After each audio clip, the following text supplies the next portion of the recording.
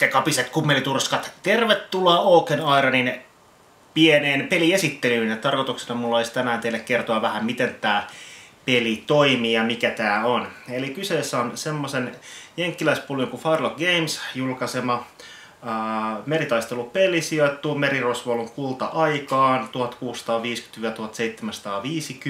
1650-1750 ja tämä käydään suurin piirtein uh, tämmöisellä kolme jalkaa kertaa kolme jalkaa kokoisella pelialustalla. Uh, nämä kaikki asiat uh, tuli pelilaatikon plus yhden pienen lisäosan mukana. Pienessä lisäosassa tuli siis muutama laiva lähinnä vaan lisää, muuten tää on sen koko boksin kama. Ja nämä on tietysti mun itse maalaamia nämä laivat täällä, mutta jos ei tykkää maalaamisesta, niin toki nämä tulee. Tämä köli tulee ruskeana ja purjeet luonnon valkoisena. Eli ilman maalaamistaitojakin pääsee alkuun. Eli pelissä on tarkoituksena luoda oma laivasto ja taistella sitä siihen kanssa kaverin laivastoa vastaan. Ja tässä mulla on nyt 250 pisteen laivastoa, joka on tämmönen ehkä pienin standardikokoinen peli, mutta mun mielestä itse asiassa yllättävän viihdyttävä jo tässäkin kohtaa. Eli tässä on tilanne pelin alussa. Kumpikin pelaaja on paljastanut korttinsa, mitä tulee ekalla vuorolla tapahtumaan, ja valinnut piiloon seuraavalla vuorolla tapahtuvan kortin. Kummassakin näissä kortissa on numero ja korkeampi numero toimii ensin. Espanja aloittaa liikkeen valitsemansa korvatella tuon näköisellä kortilla, joka tällä hetkellä liikkuu myötä tuuleen. Tuuli puhaltaa täältä, jolloin se käyttää myötätuulen liikkumisarvoa, joka on kolme. Korvette on sen verran vikkelä laiva, että se pystyy kääntymään sekä liikkeen alussa ja liikkeen lopussa normaalisti. Sen kääntymisen voi tehdä joko alussa tai lopussa. Eli käännetään ensin. Näin. Kolmosen liike. Ja liiketään kolme eteenpäin. Ja käännetään eteenpäin. Noin. Ja kun korvette on liikkunut, se voisi tehdä vielä jotain toimintoa tässä vaiheessa, mutta sillä ei ole vielä erityistä tarvetta. Niin siirretään tuollainen alkomerkki taakse. Kun espanjalaiset liikuttanut ensimmäisen laivansa, tulee merirosvojen vuoro liikuttaa. He liikuttavat sloopiaan tässä tapauksessa he haluavat tehdä jyrkän käännöksen, joka tarkoittaa sitä, että he joutuvat heittämään, tekemään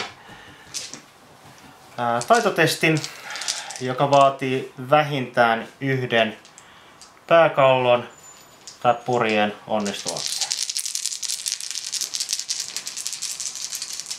Heitetään näin ja huomataan, ettei tullut yhtään onnistumista. Okei. Okay. Kullakin pelaajalla on kolme onnipistettä ja näillä voidaan tehdä se, kun epäonnistutaan heitossa, voidaan heittää yksi näistä pisteistä pois, joka tarkoittaa sitä, että voimme heittää koko käden uudestaan. Näitä tosin on vaan se kolme koko pelin aikana käytössä. Näin. Onnistumista tuli kaksi. Määrällä ei ole sinänsä väliä, kunhan niitä vaan tulee sieltä.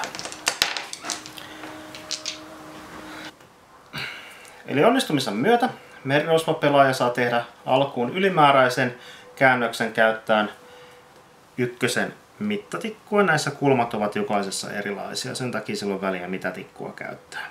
Eli ensimmäinen taidolla tehty käännös. Sen jälkeen hän voi tehdä normaalinsa liikkeen. Ähm, hän aloitti äh, tuulta vasten, mutta ei varsinaisesti vielä tulee silmässä, ää, joten sloopin liike kolmella tarkoittaa sitä, että sloopi voi tehdä vielä yhden liikkeen tässä vaiheessa. Seuraavaksi hän ajaa tänne, mutta nyt osuukin matalikkoon.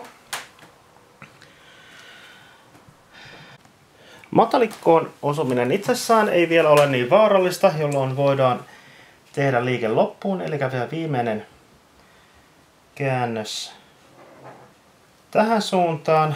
Tosi nyt ollaan tuulen silmässä ja se liikkuminen tämän jälkeen hieman vaikeampaa, kuten saatte pian nähdä. Mutta nyt joudutaan heittämään äh, Sloopin Fortituden verran, eli kestävyyden verran noppia, joita on yksi, ja jos niillä tulee yksikin pääkallo, niin Sloopia jää karille.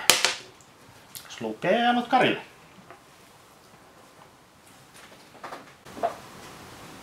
Ja nyt on kumpikin tehnyt yhden liikkeen ja näin vuorotellaan, kunnes molemmat ovat liikuttaneet kaikkia laivojaan ja sen jälkeen siirrymme tulitaisteluvaiheeseen. Ampumisvaiheessa tapahtuu siten, että lähdetään valikoiden vuoron perään samalla tapaa ampumaan laivoja, kun liikutettiin. Eli jokainen laiva on nyt liikuttanut ja niiden takana on tuo alkomerkki, jota hyödyttää myös pitämään kirjaa siitä, ketkä on ampuneet. Espanjalaisilla oli aloite, joten he lähtevät ampumaan ensin. Tikussa näkyy kolme kantama-aluetta. Pistoolin kantama, musketin kantama ja kanunan kantama.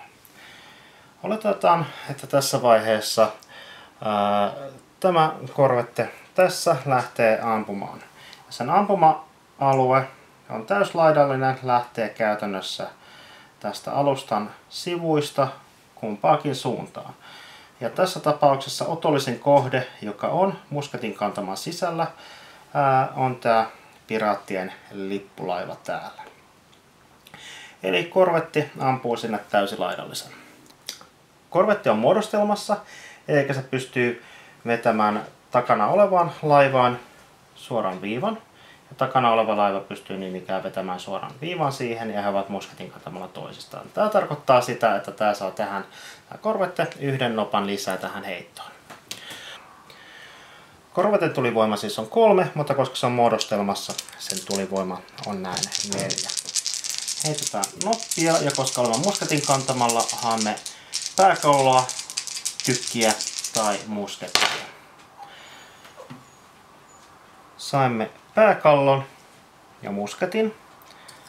Nämä eivät olleet osumia, mutta pääkallo on mahdollinen kriittinen osuma, joten heitetään se vielä uudestaan, joka tarkoittaa sitä, että se osui purjeisiin.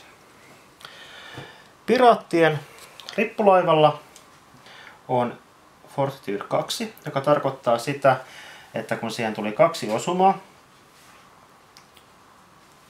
se ottaa ää, jokaisesta kerranaisesta Fortitudesta ottaa yhden pistan läpi vahinkoa, eli kahdesta vahingosta tulee yksi piste vahinkoa. Ja sen lisäksi, joka, ja kun siihen osui, niin se ottaa yhden pinnan uupumista. Ja nämä uupumispisteet toimii siten, että mitä enemmän niitä on, sitä vähemmän noppia saa heittää, kuitenkin siten, että aina voi heittää vähintään yhtä noppaa. Sen jälkeen, kun korvette on ampunut, heitetään tällainen merkki sinne ja lisäksi kun tuota lippulaivaa osui mastoon, tämä merkki kuvaa sitä, että tämä lippulaivan Mastot ja purjeet ovat ottaneet vahinkoa, mutta se on jatkossa korjattavissa toiminnolla. Seuraavaksi tehdään siten, että poistetaan tämä merkki sen merkiksi, että tuo korvette on ampunut ja sloopi täältä piraatilta päättää vastata tulittamalla niin ikään tuota vastustajan korvetteja. Se on niin ikään musketin kantamalla. Sloopin ää, tulivoima on kolme. Joten se heittää kolmea noppaa, mutta koska se on muodostelmassa, se saa yhden napan lisää. Eli taas samalla tavalla haamme muskettia tai tykkiä tai pääkalloja. Ja tässä tuli kaksi muskettia. No, korveten Fortitude on vain yksi, joten se ottaa jokaisesta osumasta ottaa iskun suoraan vastaan, joka tarkoittaa sitä, että koska sitä osui, niin se ottaa siitä yhden fatikkapinnan. Näitä siis voi tulla vain yksi, ellei tule kriittisestä enempää. Ja sitten ottaa täältä kaksi vahinkopistettä. Ja sitten kuvataan sloopin ampumista laittamalla tuo merkki siihen. Otetaan vielä, koska täällä ää, hirveästi ei ole täyslaidallisen mahdollisuuksia, niin täällä pystyy kuitenkin tämä laiva olemaan pientuliaseiden kantamalla ja esimerkiksi kääntötykeillä muuta vastaavaa se raja on tämä musketti, joten täältä pystytään ampumaan sen niin sanotun kryyväljyn verran, joka täällä on yksi. Yrittää tuota sloopia pienellä tulella ei yllä. Se on ampunut. Ja sitten pääsemme tällä lippulaivalla tulittamaan tuota samaa korvettaa. Piraattien lippulaiva, eli tämä Petit Frigatin, tuli voimaan neljä. Se on muodostelmassa, joten siitä saa yhden. Ja lisäksi he on ostaneet täältä päivityksen lisätykistä, joten itse asiassa piraattien tulivoima on kuusi. Se on musketin kantamalla, joten taas etsimme samoja. Vapaan tuloksia. Joten korvette ottaa neljä osumaa, joista yksi on kritikali. Näin. Kritikali ei tee yhtään mitään, mutta korvette ottaa neljä osumaa lisää. Eli yksi, kaksi, kolme, neljä ja yhden fatikan. Korvette ei ole enää kauhean hyvässä kunnossa. Se on kuitenkin vielä täysin taistelukykyinen, mutta tällä hetkellä jatkossa pystyy heittämään vain kahta nuppaa vähemmän näissä taitotesteissä ja tulivoimatesteissä. Kuvataan vielä fregatin ampumista tuolla täyslaidallisella. Seuraavan vuoron alussa paljastetaan kortit. Piraatit pelaavat Careful Aiming, jolla saa sitten heittää ää, uudestaan epäonnistuneet kritikaaliheitet ja espanjalaiset pelaavat aggression. Espanjalaisilla on ää, isompi numero täällä, joten espanjalaiset saavat toimia ensin. Tässä tapauksessa tämä hyvin pitkälle hajalle ammuttu korvette yrittää nyt vielä epätoivoisesti suorittaa täällä ää, ja yrittää lähteä valtaamaan tuota piraattien sloopia. Se yrittää ää, päästä hieman nopeammin. Tällä hetkellä sen ää, tuulen myötäinen liike, eli ei varsinaisesti se nopein liike, ää, on kaksi, mutta se haluaisi päästä kolmen eteenpäin, jolloin se heittää ää, skillitestin, mutta normaalisti siinä on se viisi, mutta se on kaksi fatikapistettä, niin se pystyy heittämään vain kolmea noppaa. Mutta sieltä tulee kuitenkin yksi onnistuminen, joten korvaten liike nyt on kahden sijaan kolme, joten se tekee ensimmäisen käännöksensä kohti vihollisen sloopia ja liikuttaa kolme eteenpäin. Näin. Tällä hetkellä se on tämän lyhyen poikittaisen kantaman sisällä, joten se voi yrittää kiinnittyä heittää köydät tuohon sloopiin. Ja taas skillitesti taas kolmella nopalla, eli 5 2. Onnistuminen, joka tarkoittaa sitä, että se siirretään suoraan tänne kiinni lähimmän matkan ja käännetään näin. Eli nämä merkit siitä, että molemmat ovat ampuneet, siirtyvät sen mukana. Ja se kuvaa liikkumista. Ja nämä laivat ovat nyt kietoutuneet toisiinsa ja tähän taisteluun ei saa erikseen lähteä tulittamaan, koska siinä taas on niin suuri riski, että ammutaan omiansa. Lähitaistelu toimii siten, että korvette, jonka hyökkäysvuoro tässä tapauksessa on, ottaa ensin viisi noppaa ja lisää siihen ton miehistön arvon, eli yhden, eli lähtee heittämään kuutta noppaa.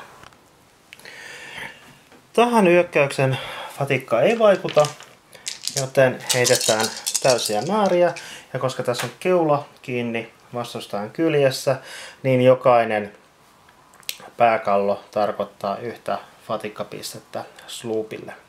Jos tilanne olisi siten, että oltaisiin päästy näin kiinnikkään, niin ää, jokainen pääkallo, pistooli ja miekka tarkoittaisi yhtä fatikkapistettä tuolle sloopille. Mutta näin niin pelkästään pääkallo antaa onnistuneen osuman. Eli heittää kuutta pistettä. Ää, ei saatu yhtään osumaa. Ää, espanjalaisilla on kolme fortune-pistettä ja koska tuo oli niin huono heitto, niin käytetään niistä yksi. Ja heitetään uudestaan, jolloin saimme kaksi onnistumista ja sloopi ottaa siitä hyvästä kaksi vatikkapistettä. Tämä niin sanotusti ei vaikuta laivan antamaan vahinkoon, mutta jos saadaan tuo menemään niin sanottuun shakeen asti, eli käytettyä kaikki tämän vatikkapisteet. Normaalisti niitä on seitsemän, mutta tällä sloopilla on maksettu yksi lisää miehistöä, niin tämä fatikat itse asiassa menee kymmeneen saakka. Mutta näin ää, huonossakin kunnossa oleva laiva voi yrittää lähteä valtaamaan toisia laivoja. Kun laiva on saanut tarpeeksi vahinkoa, niin sitä ei enää pysty korjaamaan. Normaalisti korjaamisella voitaisiin vahinkoa siirtää yhden pisteen pienemmäksi, mutta kun ollaan saatu tarpeeksi vahinkoa, sieltä tulee sen verran pahasti vaurioitunut, että sitä ei pysty enää korjata ja se ei pysty vielä liikkumaan. Tämän jälkeen ylimääräiset vahingot aiheuttavat suoraa fatikkaa.